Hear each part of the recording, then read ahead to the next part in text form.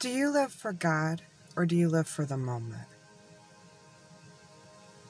When you make your choices, do you make them for yourself? Do you make them for the other person? How do you live your life? Do you lead by example? Or do you do and tell them not to do what you did? Are you living a life that you really want to live?